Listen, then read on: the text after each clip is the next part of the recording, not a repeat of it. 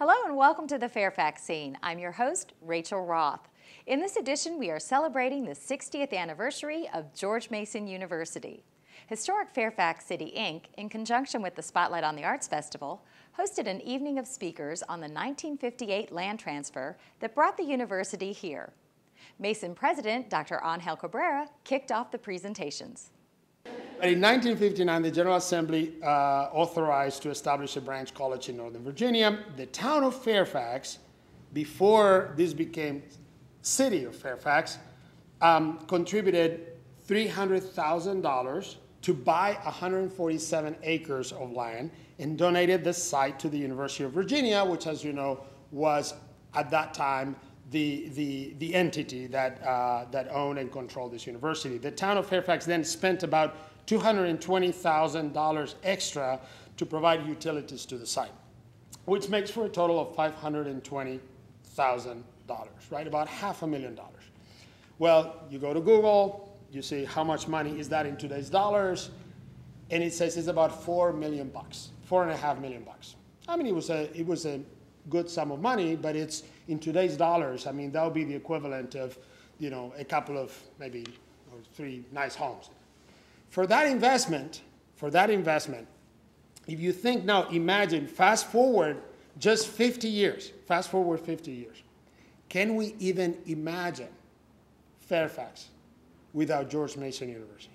And uh, this may be a little bit of a leap of faith on my part, but I would venture to say that there hasn't been a smarter investment in the history of Fairfax than that half a million dollars to purchase that land and to make sure that the university would happen here. I mean, think about the value.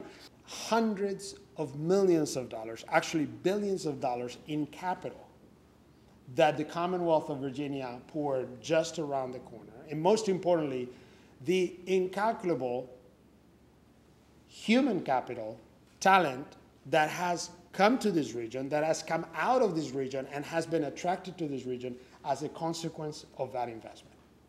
So the, the best places in the world to live, anywhere in the world, the best cities in the world, they're all anchored by at least one world-class university. They're drivers of economic growth. They're drivers of a vibrant cultural and uh, cultural life.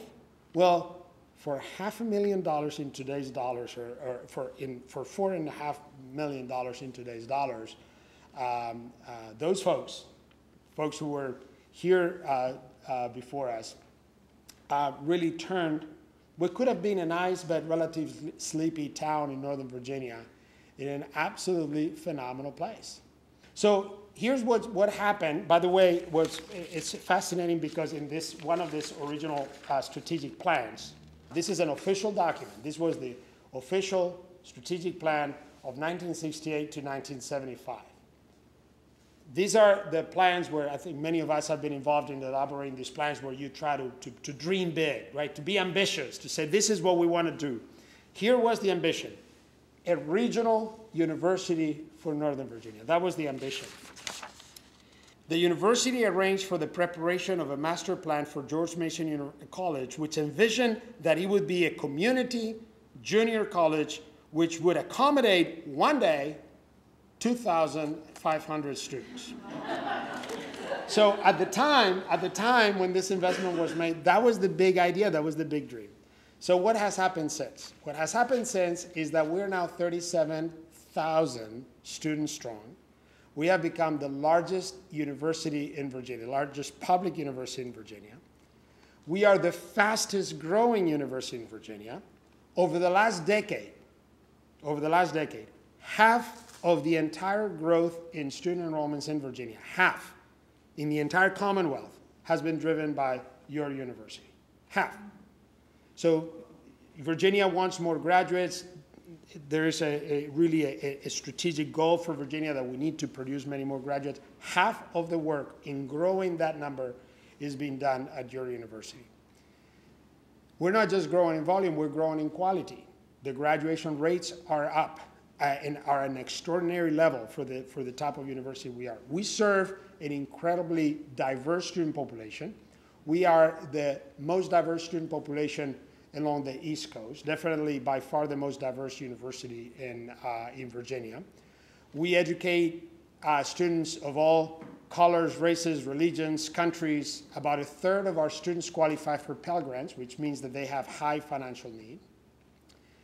When we're done with them, or they're done with us, or whatever, whoever is done with whom, um, everybody's graduating at the same time. This is unheard of. I've been looking at the data again today, and it's unbelievable. Black students, Hispanic students, white students, Asian students, no matter how you cut the data, everybody's graduating at the same time. If you compare Pell Grant recipients with non-Pell Grant recipients, students that come with high financial need, non-financial need, everybody's graduating at the same time. This just doesn't happen across American higher education. I wish one day these will stop being bragging points because everybody does the same thing. There's still, unfortunately, big bragging points for your university. So we're growing in size, we're growing in quality, we're serving an incredibly diverse student body, we're producing amazing outcomes, and on top of that, we have become now a top research university. Some fields led the way the history department, embracing, and, and always by, by choosing fields that at the time someone would have thought, these guys are crazy. You're bringing the internet to history? What are you talking about? Well, because of that, we now have this extraordinary history department. In other areas like economics or law or engineering, throughout the university, we've picked areas where maybe they were out of the box and they have made us stand out. So two years ago, we received the great news, scary news, intimidating news somehow, that your university had now been reclassified as what is known in the industry as a, a, a research one, tier one, very high research university. Well, it turns out there are only 115 of those in the country. The other 114, they've been around for 100 years, and 200 years, and 300 years and there are Ivy League schools and very well endowed private schools, and there are the flagship universities of some states, not all of them, and then there's George Mason. And right now, we are the youngest university to be considered a tier one uh, research university. Back track now to that investment of a half a million dollars of the 50s, five million of today's money and wouldn't you agree that that was the smartest, best ROI investment that this city or this county has ever made? Well, that was a wonderful idea, and uh, thank you for having me today. So thank you very much for having me. I've been asked to talk about the creation of the city of Fairfax. And if this discussion were being held 60 years ago, I doubt very much that the atmosphere would be as genial as it is tonight. Many of the personalities involved were residents of the then town of Fairfax who found themselves at odds with their neighbor on opposing sides of a contentious issue. Uh, the people of Fairfax were also residents of the county. For some, this clearly caused a conflict within them as to their allegiance. Now, 60 years on, as the saying goes, time heals all wounds. Well, let's start at the beginning. Uh, the beginning, uh, of course, for us was 1799 and as a result of the significant population growth in the county, the, court, the courthouse was no longer within the standard day's ride of horseback for most county residents. And at the suggestion of Richard Ratcliffe, a, uh, county court justice, who offered the county four acres of land for one dollar, a site was selected in the center of the county at the crossroads of the Falls Church Road, and that's today's Ole Highway, Main Street, and the other crossroads was Elsie's Church Road, which we now know as Chain Bridge Road or Route 123. Richard Ratcliffe was an entrepreneur of the first order. His motivation in granting land to the county was not entirely benevolent, as he owned several thousand acres around the new courthouse site and stood to benefit from the growth of the new courthouse community. The courthouse was completed in 1800, and Richard Ratcliffe began to plan a new town around the building.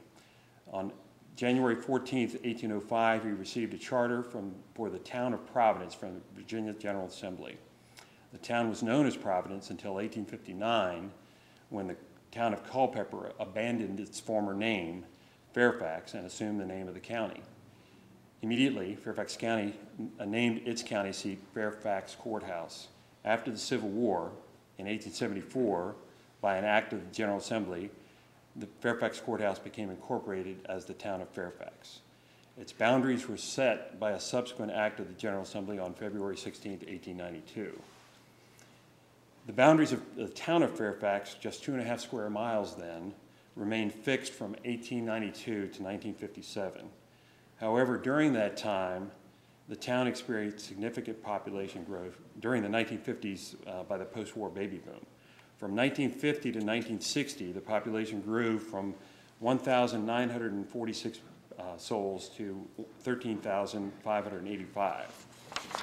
To accommodate this growth, most of our subdivisions, Westmore, Fairview, Green Acres, and Mosby Woods were constructed at this time.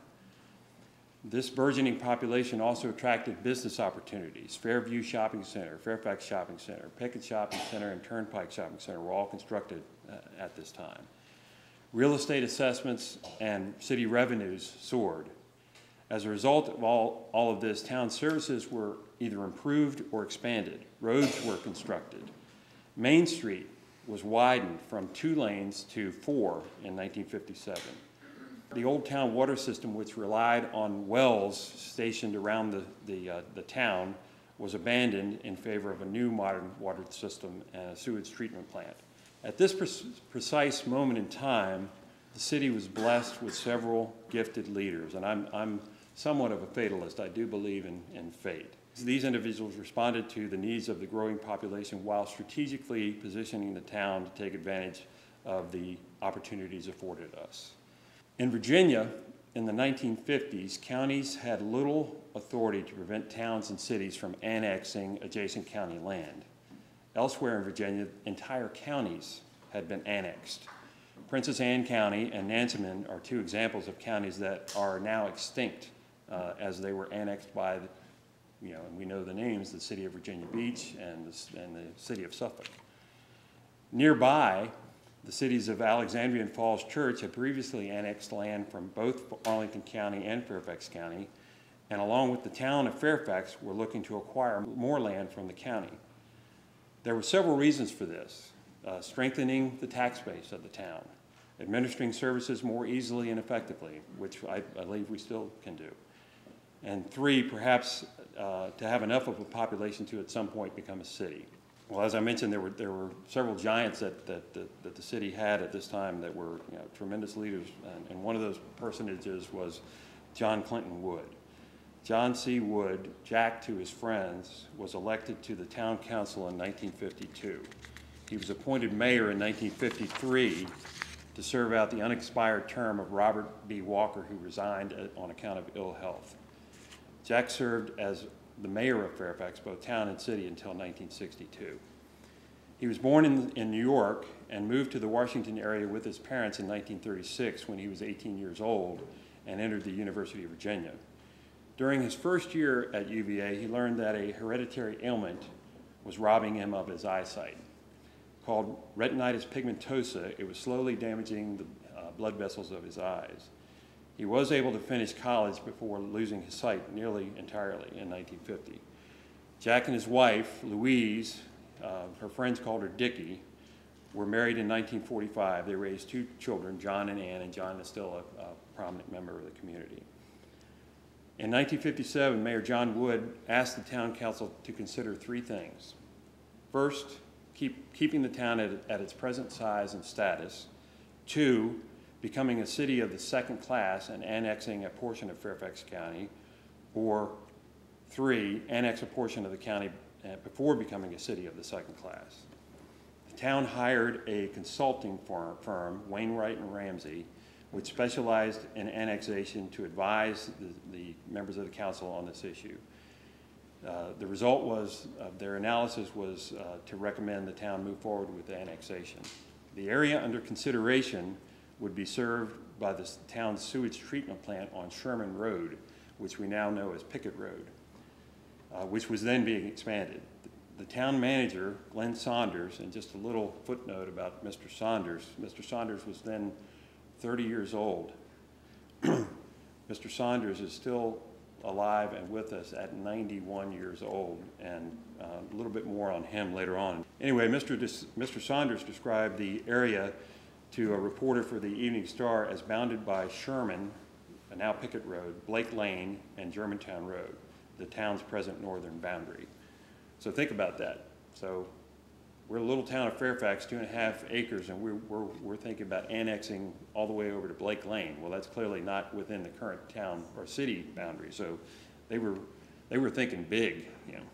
The an- annexation plan also included, and I think this was a strategic move on the part of certainly uh, John Wood, uh, the boundary uh, south to in- include the land all the way south of where we are right now to Braddock Road.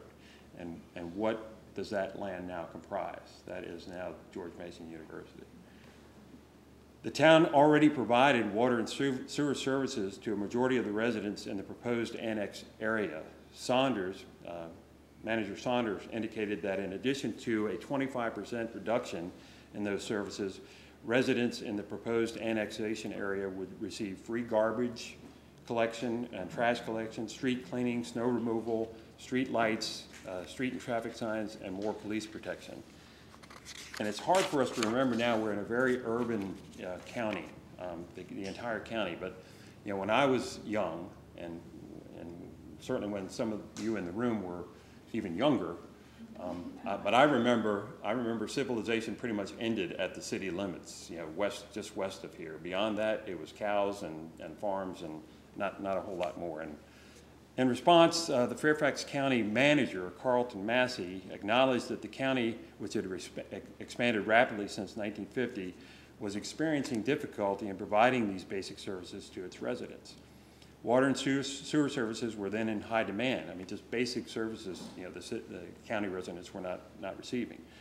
Matthew further acknowledged that residents in the built-up areas surrounding the cities of Alexandria and Falls Church, as well as the towns of Fairfax and Vienna, one of the types of services provided in those localities and were willing to annex or incorporate themselves to get them. However, however, Massey believed that, quote, the situation demands that an integrated system under the county was the most effective way to, to provide these services, end quote. He understood that annexation and incorporation was the major threat to orderly planning and development of these facilities in the county. The Fairfax Town Council briefed the County Board of Supervisors in a closed session in December 1957 of their plans. In 1958, the town filed suit to annex 2,224 acres of Fairfax County into the town of Fairfax. The chairman of the County Board of Supervisors was Providence District Supervisor James Keith and a resident of the town of Fairfax. And while we do not know exactly what Mr. Keith was saying, I certainly don't. There's probably two people in the room that do because his son and daughter are, are in this, in this room. Um, And that is our president and his sister and fellow board member. I hope you're getting the sense of this, that this was like a local, you know, city, county, town, you know, and it's, it's, it's important to remember, at this stage, we are all Fairfax County residents. You know, we're, we're, we're residents of the town, but we are governed by, largely by the, by the uh, County Board of Supervisors, um, of which Mr. Keith was the chairman. Uh, While we, as I said, while we don't know exactly what Mr. Keith, because although I did get to meet him, I did, I didn't, we didn't discuss this particular uh, topic. But he is quoted as saying that he did not strongly oppose annexation. Um, I'm sure he probably felt a little stronger about um, uh, lo- uh, losing the, the town to, um, to an independent city. Anyway, the case, uh, the city, the town filed suit, and the case was heard by a three-judge panel uh, led by Fairfax County Circuit Court Judge Paul E. Brown. And another footnote to Mr. Brown, and this is, this is where you're going to start getting the sense of the fix is kind of in on this thing. Paul Brown grew up on Cedar Avenue in the town of Fairfax. So what do you think, what do you think uh, Judge Brown's decision was? Judge Brown uh, decided the case in favor of the town for annexation. The, the county appealed the annexation decision to the Virginia Supreme Court in 1959. Their discussion, in their decision, the court noted that the many residents of the annexed area, quote, favored annexation and none opposed, end quote. The court added that, quote, "All in all, the town appears to be well-organized, virile, and progress, and a progressive municipality fully capable of meeting current and future problems successfully, and evidence does not show that the county, 400 square miles in area, will suffer irreparable damages as, as a result of the annexation," end quote. I like the, I like the first part of that quote. All in all, the town appears to be well-organized, virile, and managed effectively. I like that part. Adding insult to injury, uh, the court awarded the town recovery of appeal damages uh, from the county. Three and a half miles of the county territory was incorporated into the town of Fairfax effective January 1st, 1960. In response to this decision, you'd think that this would be the end of it. You know, everybody goes away happy. Well, not so. In response to this decision uh, and facing additional annexation threats and further loss of ter- territory from Falls Church and Alexandria, Fairfax County seriously considered consolidating with the, with the town of Clifton as a city. Under Virginia law, such a move would have vacated the charter of the town of Fairfax as well as those of Herndon and Vienna. Suddenly, the issue became one of survival for the town of Fairfax. Under Virginia law, the only way for this to happen uh, was for the town to become um, consolidated with the county, which was actually discussed and rejected by the, uh, the town council, Fairfax Town Council, or to become a city of uh, either the first or second uh, order. Jack Wood's argument became one of preserving the community of the town of Fairfax as, as an entity and protecting the considerable recent investments the town had made in infrastructure, uh, a new water plant, a new sewer, sewer plant, parkland, et cetera. The town council argued that the town's assets would be spread throughout the new city of Fairfax County, which was one of the names that was suggested for the new large locality, instead of benefiting only the Senate, citizens of the town. At this time, there were persuasive arguments in, that indeed had merit. On April 21st, 1961, Mayor Wood stated to the Evening Star, "We do not intend to be wiped out or have our political integrity erased by somebody else." End quote. Now, you want to tangle with a guy like that? I don't think so. On May 1st, 1961, the town quietly filed a petition at the courthouse to become a city. The, the county political leadership did not discover this filing until six days later on May 10th. Uh, When Robert Fitzgerald, who was the Commonwealth's attorney, found out about this, he went directly to the clerk's office, uh, and the clerk was uh, the the repository of the filing and all the court, court filings, and still is. And the clerk at the time was, was a man by the name of Thomas P. Chapman, Jr. Thomas P. Chapman Sr. was the mayor of the town of Fairfax in 1936. And Thomas P. Chapman Jr. lived on the corner of Chambers Road and Center Street, and his house still stands in the town and now city of Fairfax. So where do you think Thomas Chapman's allegiance uh, lay? And when asked by Robert Fitzgerald, why do you, why do you notify us of, of the filing? He said, no one asked me. On May 10th, Judge Brown signed an order authorizing the county to hold a referendum on becoming a city on July, July 11th, the date of the Democratic primary. Also on May 10th, Judge Brown approved the town, approved the town moving forward in its request to become a city by appointing six enumerators to count the number of residents in each of the six precincts of the town in order to verify the town's population. This procedure was required by state statute. The town residents wasted no time in counting their population, which was certified at over 13,000, far more than enough to qualify for a city of the second class, which was actually 5,000.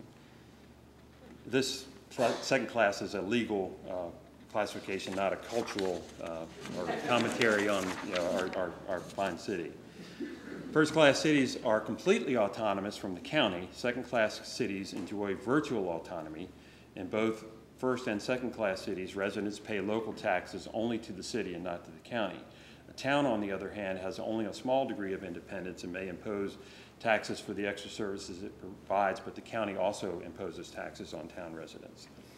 On June 21st, 1961, the town council, with Ed Pritchard abstaining, and we'll talk about that in a moment, directed the town attorney to submit a final petition to, to the same Judge Brown.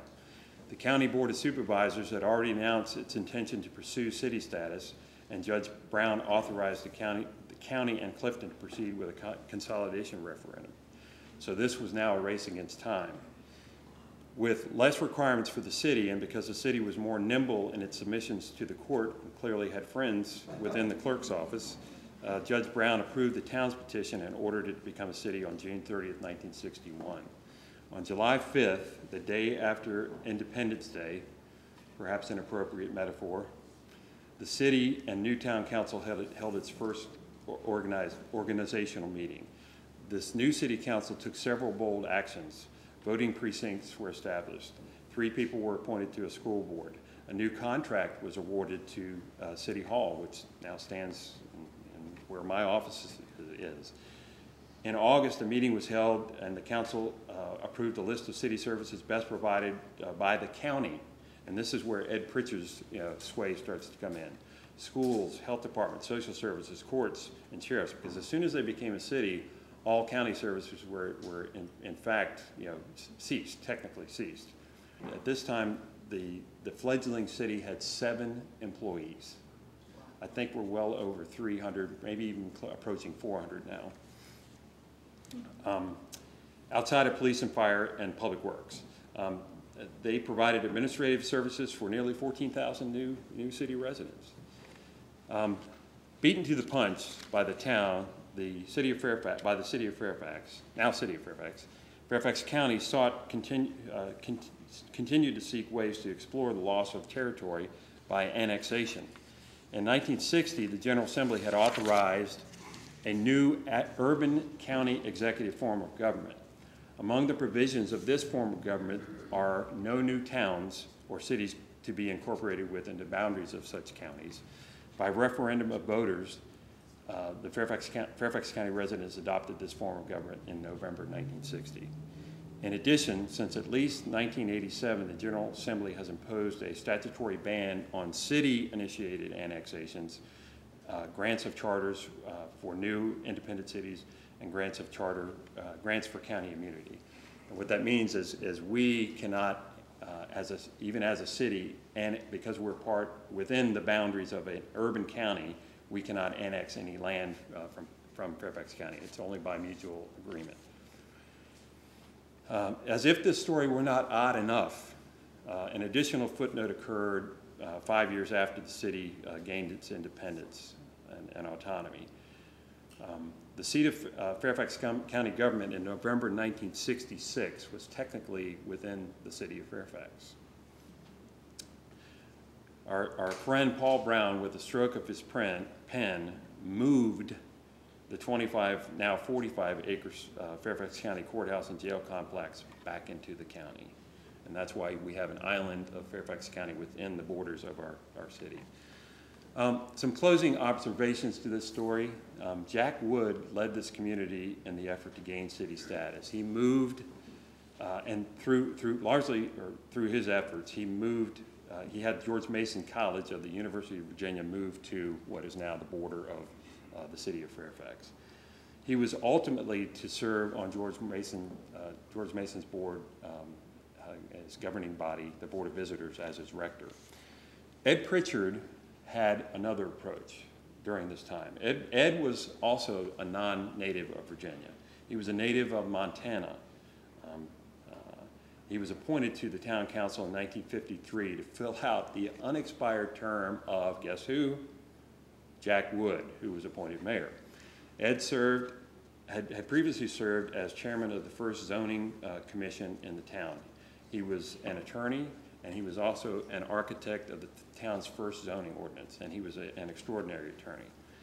During World War II, Ed served in the Office of, of Strategic Services, or the OSS, a precursor to the Central Intelligence Agency. While stationed in Cairo, Ed met Nancy Pritchard, also an employee of the OSS. They were married in 1945. They have three children, Nancy, Tom, and uh, Robert. Ed Pritchard favored expansion of the town of Fairfax by annexation, but was a reluctant supporter of the petition to become a city. He was later to play the role of peacemaker and an alternative voice for engagement and reconciliation with the county. With the new city of Fairfax, the, uh, the political support that helped John Wood achieve separate city status, status began to shift. The citizens only wanted to go so far. As the city moved to develop its charter in late 1961 and early 1962, John Wood continued to advocate for the city to be separate. He wanted us to be, you know, completely independent of the county. You know, our own sheriff, our own clerk, our own school system, you know, the whole, the whole thing. By 1962, Ed's, Ed Pritchard's more moderate position gained support, and he actually defeated John Wood and became mayor of the city of Fairfax. Ed Pritchard said at the time, quote, this is about a different approach. Jack Wood and I live in the same city. This is not personal at all, and I hope he sees it that way, end quote.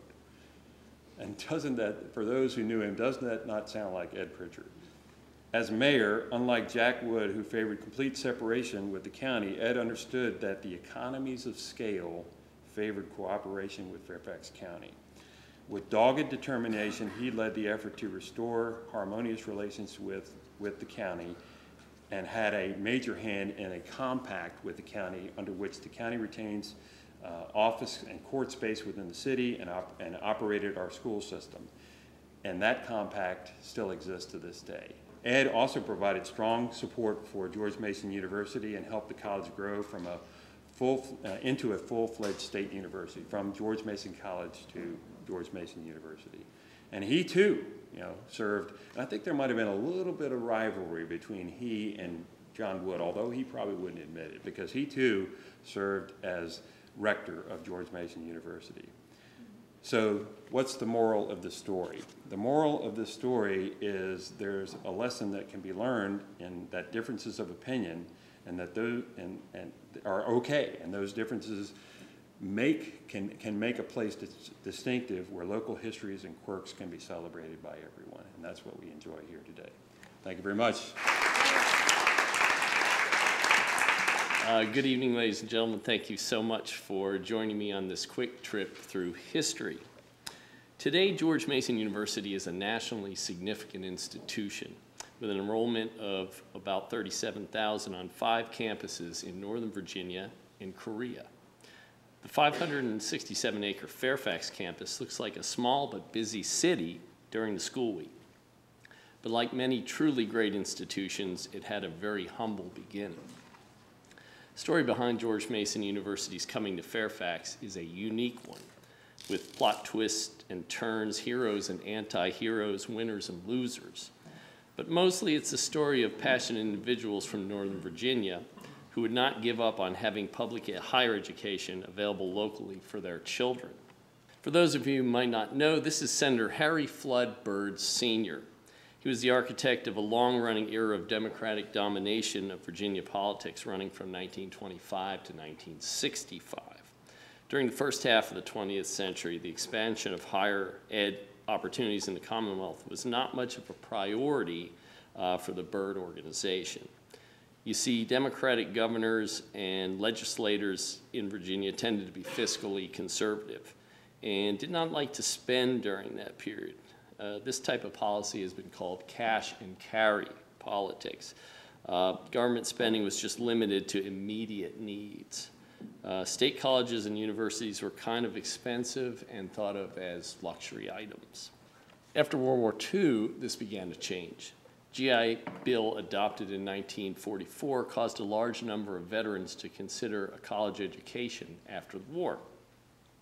Large universities in Virginia uh, UVA, William and Mary, and Virginia Polytechnic Institute, otherwise known as Virginia Tech, uh, began outreach in the form of extension centers and branches. Uh, UVA would have Mary Washington, Clinch Valley College, and George Mason College. William and Mary would have Richmond Professional Institute, Richard Bland College, and its Norfolk branch, which later became ODU. Uh, VPI had acquired Radford State Teachers College in 1943 and had several extension centers in Norfolk and Richmond.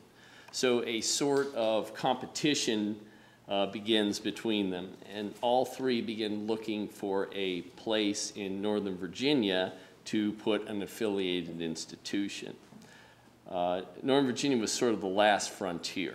It was unlike the rest of the com Commonwealth in that there were a large number of higher educated families who were neither born nor educated in Virginia.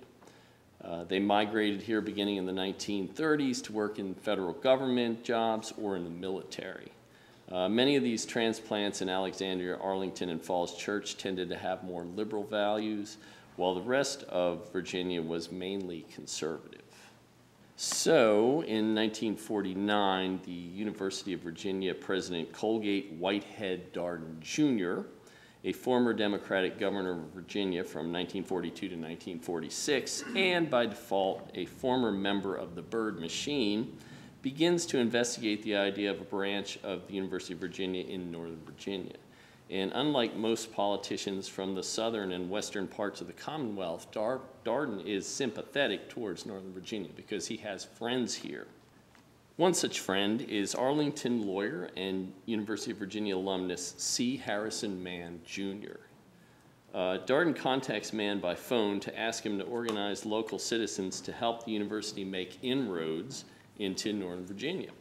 This is important as Darden did not want for the state legislature to see the idea as an attempt at a power grab.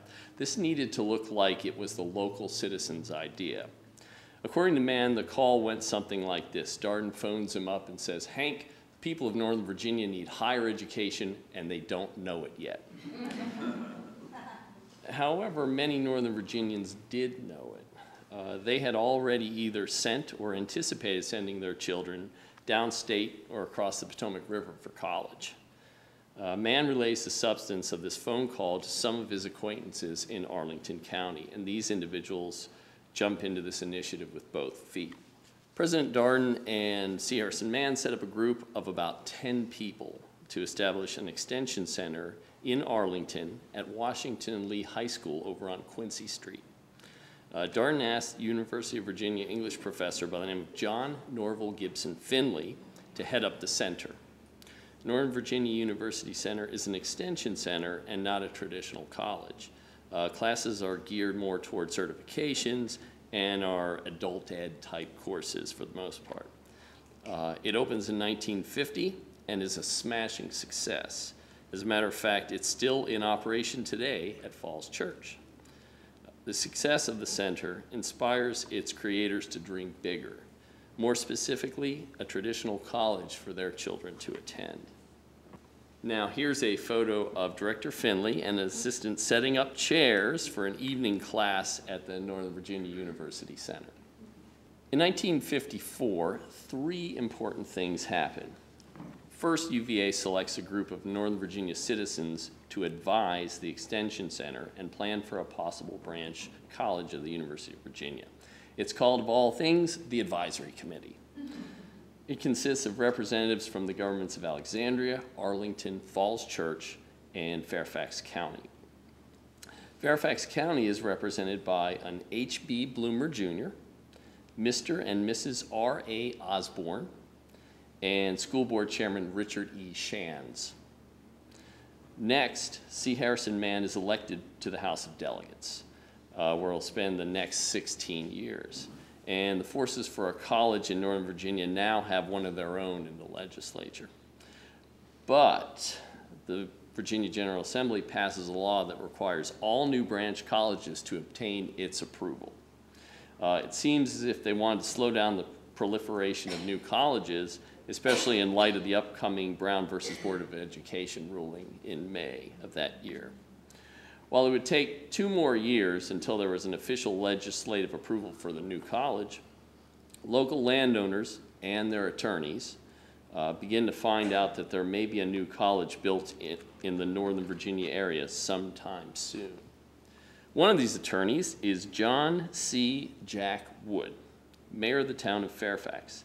Though legally blind from a disease that attacked his sight as a college student, Wood is well connected, he is, uh, exudes a can do attitude, and becomes a fixture in Fairfax politics and business matters.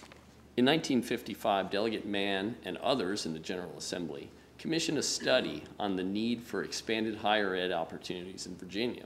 It's called The Crisis in Higher Education in Virginia and a Solution. In February of 1956, the bulk of the General Assembly is moved by this report. Both houses approve a resolution to create a branch college in, in, uh, of the University of Virginia in Northern Virginia, and we're on our way. The advisory committee begins working closely with the Board of Visitors at the University of Virginia to select a tract of land. The rule in Virginia is if you supply the land, the state will supply the money for the buildings if they're approved. So Mayor Jack Wood represented Edwin Carr and James McElwain, who together owned a desirable parcel of land called Ravensworth Farm at the junction of Braddock Road and the proposed Capitol Beltway. On May 16, 1956, Wood and his clients offered the property for sale to the university. By 1957, there are two clear finalists for the uh, land to build the college on. There's a tract of land on Route 606 just outside of Herndon, owned by the A. Smith Bowman Distillery, where Virginia Gentleman Bourbon is made. And there's the aforementioned Ravensworth tract.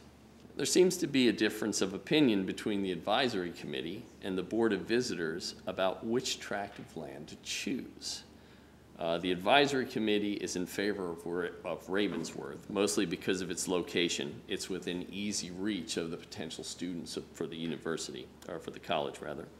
Um, Ravensworth also has historical significance. The farm belonged to the Fitzhugh family, which had ties to the Custis and Lee families. And as a matter of fact, uh, Robert E. Lee and his bride Anna honeymooned at Ravensworth.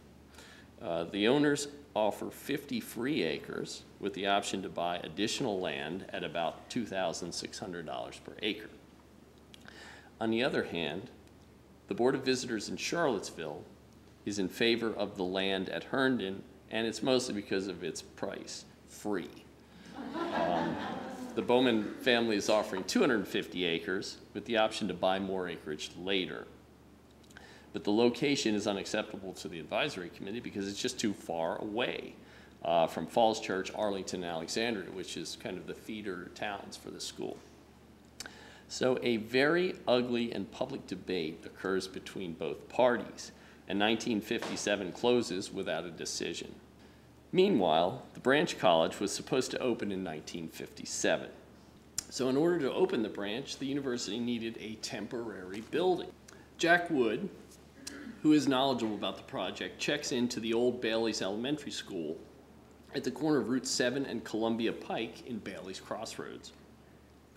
He knew it had been vacant since 1954, as he is also the counsel for the Fairfax County Public Schools.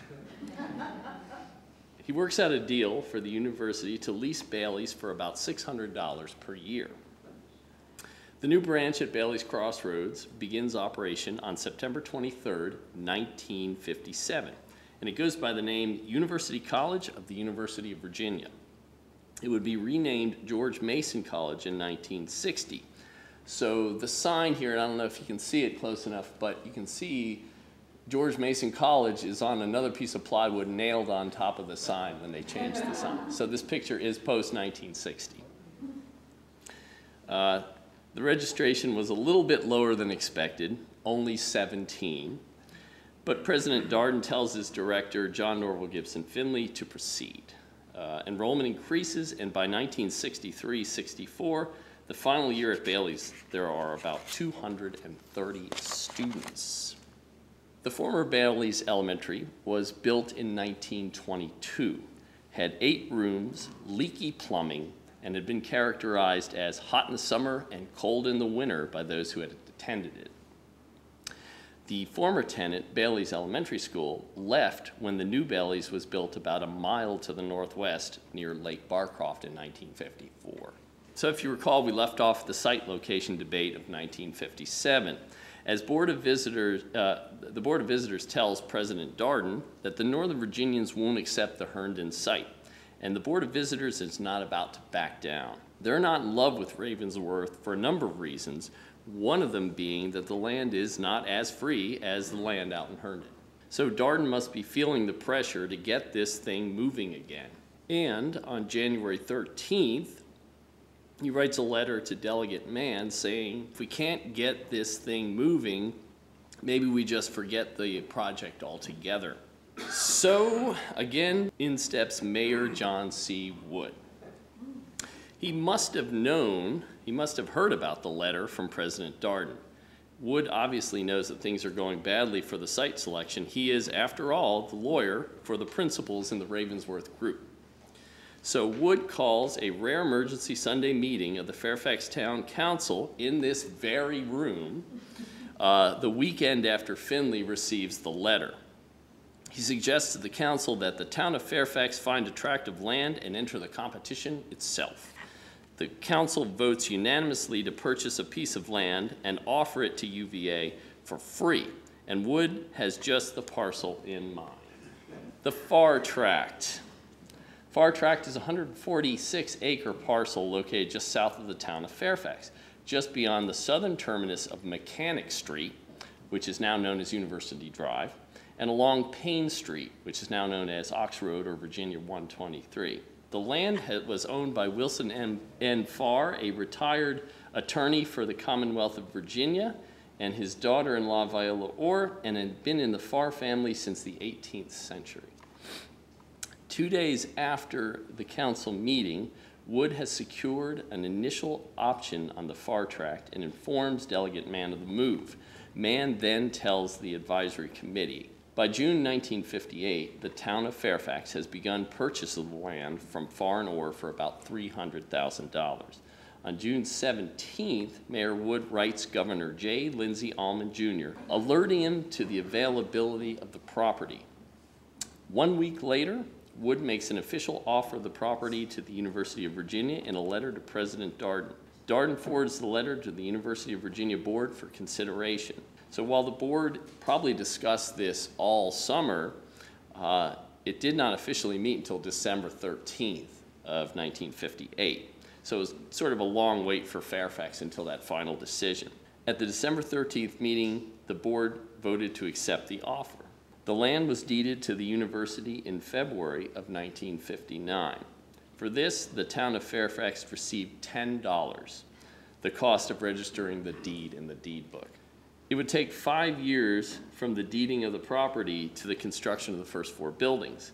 On May 8, 18, uh, 1962, the university had this sign installed at the corner of 123 and the dirt road that would later become University Drive.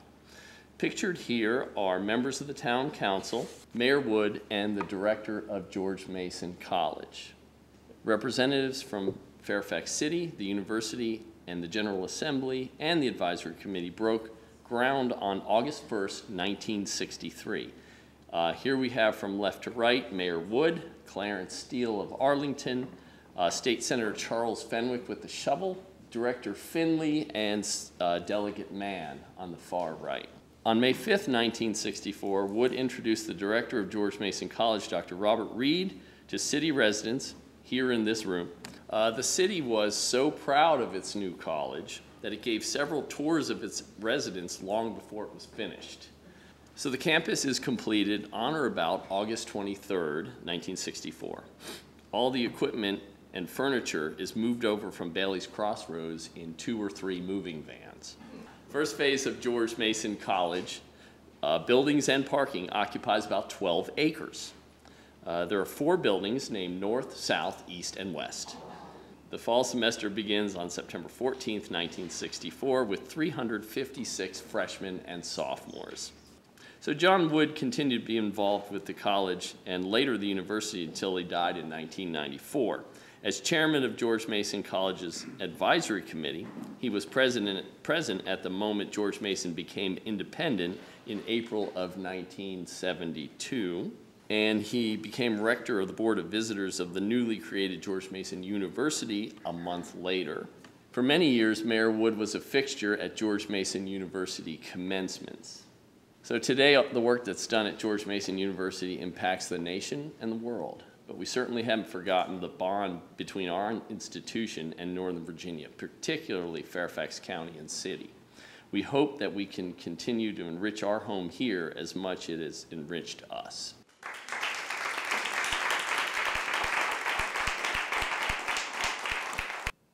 We hope you've enjoyed this edition of the Fairfax Scene. If you'd like to learn more about Historic Fairfax City, Inc., visit their website at historicfairfax.org. And for more information on George Mason University, visit gmu.edu. For the Fairfax Scene, I'm Rachel Roth, and we'll see you next time.